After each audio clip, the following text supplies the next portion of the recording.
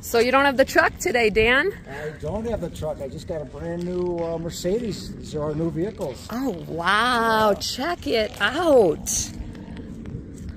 Good girl. That's awesome. Oh, I'm so happy for you. I hope you're comfortable in it. You want to come see the new vehicle, Frannie? Huh?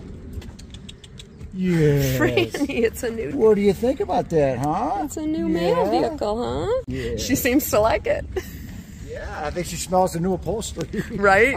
She likes that new car smell. I think so, don't we all? She's a classy dog, what can I tell you?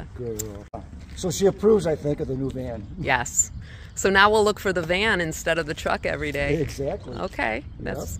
I think she'll understand. She didn't seem. As soon as you stepped out, did you see she yes, I started did. barking? I did. So where's the uh, license plate, oh, yeah, huh? So we put her right in the front here now. oh, nice. All right. See, in the new van. Nice, Stan. That's awesome. we have the Fox 32 news crew here. This is our friend Stuart. Also get patted. Yeah. Aw.